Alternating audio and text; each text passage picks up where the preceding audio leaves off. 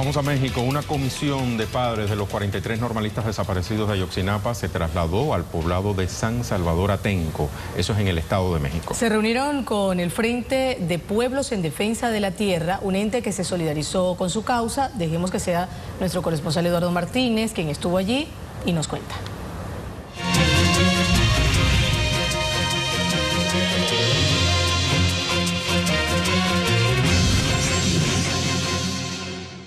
Pobladores del municipio de San Salvador Atenco e integrantes del Frente de Pueblos en Defensa de la Tierra se solidarizaron con los padres y compañeros de los 43 normalistas desaparecidos de Ayotzinapa. ¡Porque vivos se los llevaron! ¡Vivos los queremos!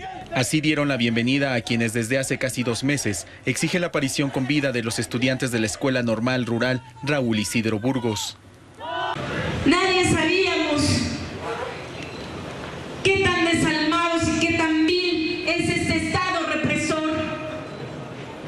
Y fue, y es la ausencia, y es la desaparición, y es esta vileza que les cometieron, lo que abre una cloaca en nuestro país y desnuda el sistema podrido en el que vivimos.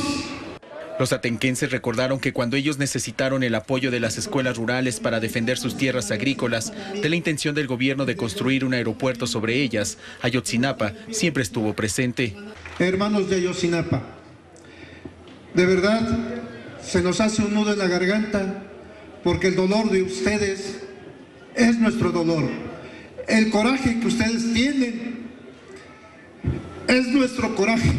Padres y normalistas de Guerrero pidieron todo el apoyo para que la justicia caiga sobre los responsables de los hechos en los que también murieron seis personas a manos de policías municipales y un comando civil armado. A su pequeña o corta edad están sintiendo y han sentido lo que muchas organizaciones dentro de la República Mexicana han padecido a causa de las agresiones de este mal gobierno. Continuarán con su recorrido por todo el país, que culminará con una gran marcha y concentración en el Zócalo Capitalino el próximo 20 de noviembre, justo cuando se conmemora el aniversario número 104 de la Revolución Mexicana.